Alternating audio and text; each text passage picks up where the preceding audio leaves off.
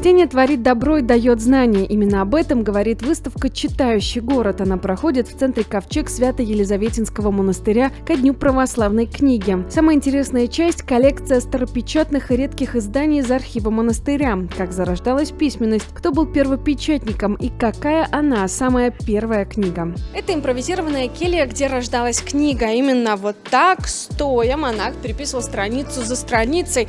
Затем книга оформлялась с помощью печати печатных форм, сшивалась и обтягивалась натуральной кожей, затем отправлялась под пресс. Ну а за счет того, что книги были очень дорогими в библиотеках, они хранились на цепях. Примечательно, что в конце каждой книги была приписка от монахов. Они сообщали, что очень трудились, были уставшие, если есть ошибки, просили прощения. Один монах мог за время светового дня написать две страницы. Писали пером гусиным, э, варили сами чернила, то есть на это все уходило время. Одну книгу писали месяцами. Конечно же, до, долго нужно уже варить, это секреты были, как варить, а еще и оформлять нужно было. Вот, например, я могу обратить ваше внимание, одна из древних книг, сохранившихся до наших дней, Астромирова Евангелие, которое хранится в Российской национальной библиотеке города Санкт-Петербурга.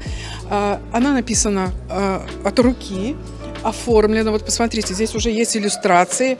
В то время не было акриловых красок. Нужно было эти краски добывать где-то в природе. И варили из желудей, из черники, крокатицы, там красный пигмент брали. То есть нужно было собрать э, пигменты, краски для того, чтобы красиво оформить э, страницу. В нашем монастыре сделали макет, э, копию Астромирова Евангелия. Обратите внимание, кожаная, да? э, деревянная обложка на таких замочках.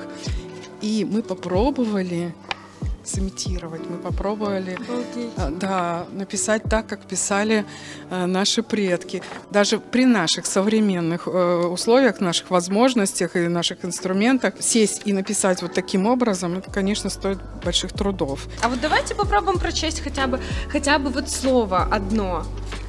Так, ну давайте. Ну, сканип, слово, сканип. Вначале было слово, и слово было у Бога, и слово было Бог. И искони слово, вот видите, как а, это все. Да, да, да, да. Это древнее Евангелие. У меня это сканип.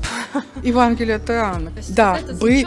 Да, да, да, да, да, да, да. Ага, слово. Слово. Слово было, было Бог. Он писалось да. так, да. Да-да, одну книгу могли писать и оформлять месяцами, поэтому они были очень дорогим удовольствием, а наши предки весьма изобретательными. Например, в алфавите, который раньше назывался глаголицей, зашифровано послание. Я знаю буквы. Слово – это достояние. Живите усердно, земляне, как подобает разумным людям.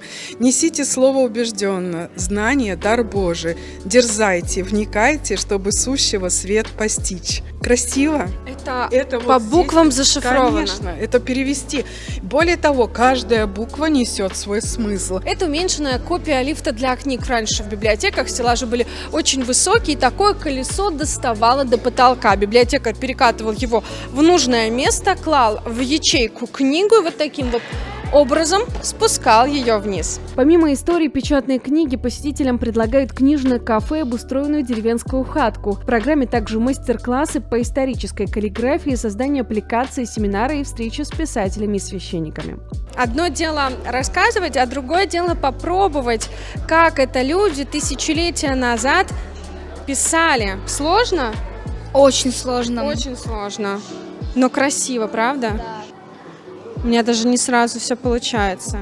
От священного писания, духовных автобиографий до детских книжек и календарей. Разнообразная программа и духовная пища для ума. Выставка форум «Читающий город» продлится до 10 марта. Полина Макей, Александр Мирошниченко, агентство «Минск Новости».